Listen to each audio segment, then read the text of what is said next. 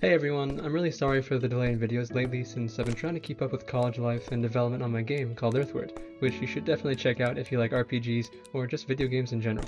I'm also really sorry for the audio quality once again. I still don't have uh, my actual microphone set up and all my roommates are currently in uh, our apartment right now. So I've actually gone to my school and I've gone into uh, one of the lecture rooms, which is why there's so much reverb right now on my voice. So just stick with me here. But today we're going to quickly go over some commonly asked questions, and I'm going to do my best to answer them. So the first one is, uh, I'm having problems with my mod. Whenever I build, I get X error. What do I do?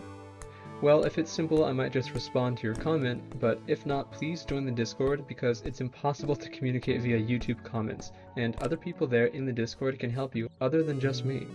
So the second question is, how do I get my code to autocomplete as shown in the videos? Well, this is something called IntelliSense. It allows the computer to guess what you're going to do and gives you some very helpful autocomplete options. To enable this, you have to go into your Tools of Visual Studio, then go to Options, and then Text Editor and Advanced. And you can go ahead and find the autocomplete option uh, over there. And I'd also recommend going to the C Sharp options and enabling parameter information, autolist members, and automatic brace completion. You won't regret it and it'll save you many headaches. So the next question is, will you create a boss tutorial? Okay, I get asked this one a lot, uh, but the answer is I probably won't be doing a boss anytime soon. Not to say that it won't happen, but I have other priorities first. A lot of people who are maybe new to modding uh, often want to start by making bosses, which is perfectly fine, albeit incredibly ambitious. They're going to be clueless unless they actually understand how to code and how Terraria's codebase works. Instead of trying to bend the code to your will, maybe try conforming to it for a little while, until you understand how it works. Nobody wants to fight a boss that's a carbon copy of the Eye of Cthulhu. Then again, I'm thinking like a game developer again. It's ultimately about fun. I mean, that's the whole reason for modding something in the first place.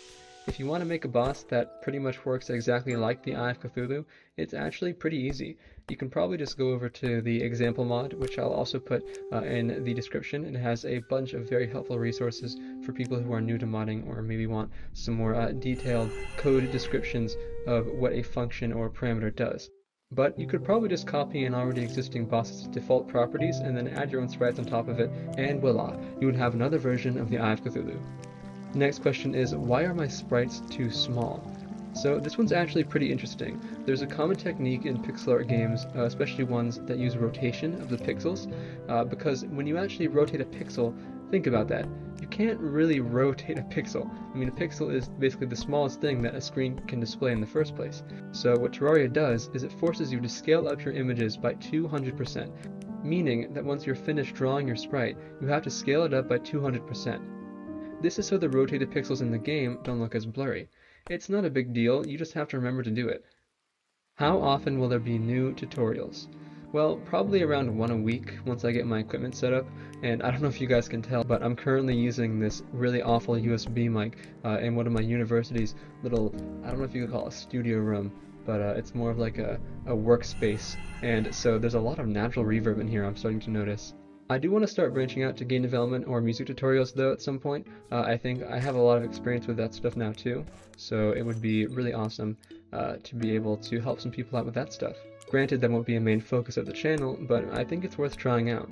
So we have another question, and I also get this one a lot. A lot of people often uh, have this error. Uh, my mod is crashing without me doing any coding. What do I do? This usually indicates a misconfigured installation of Visual Studio. Make sure you have the right version installed and the right packages installed. I put a link in the description of this video to a very good article on how to set up Visual Studio for tModLoader. So if you're having any problems with this kind of stuff, make sure to please go and check that out first. So another question is, what should I make sprites with? Well, Aseprite is the undisputed best pixel art program. It has a ton of functionality, is easy to use, and allows you to export as a vertical sprite sheet which means you can start drawing and animating in a GIF format and then export it as a vertical sprite sheet, which for Terraria, let me tell you, is going to save you a lot of time. You can use a free extension of Aseprite if you want, called LibreSprite, or you can just buy Aseprite for a cheap price, which I think is something like $5, well, at least that's how it was for me. Or, or you can just decompile Aseprite yourself and get the software for free, but that's more work, and you also want to support the creators. If that all sounds like too much trouble for you, you can also just keep going on uh, with Piskel, which is a free online pixel art program, and it still works perfectly fine. but it just means that when you want to create vertical sprite sheets, you're going to have to do just a little bit more work. And as a game developer, I have to say, Aseprite is definitely worth it. So another question is, uh, I have no idea how to code. It all feels impossible to understand. How can I follow along?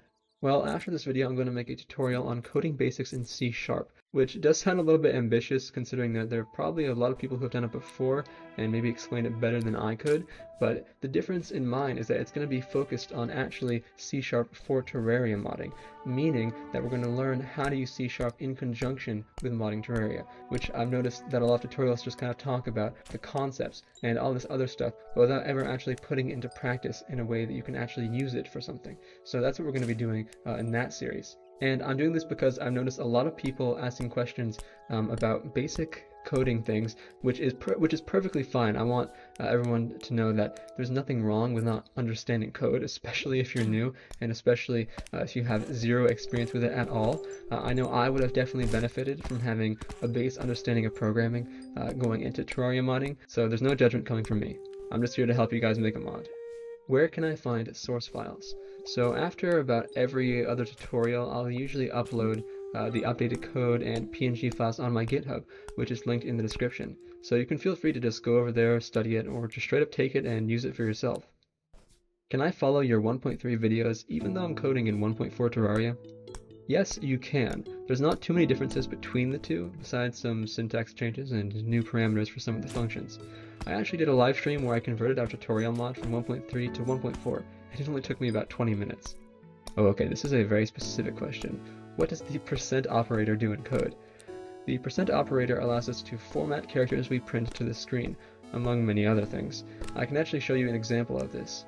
This code right here is written in pure C, not C Sharp, not C++, just C. Imagine if I wanted to print an integer uh, called, let's say, x. We'll set up x equal to 5, and if I try and print x in quotation marks, well, I can't do that, because an integer isn't a character value. We'll just get the actual letter x, not the number 5. So what exactly do we do? So what we have to do is we have to convert that integer into a string first and then print it. Or we can use the percent operator. The percent operator tells us what kind of number we want to print on the screen. Percent %i and percent %d are for integers, percent %f is for floats, and so on and so forth.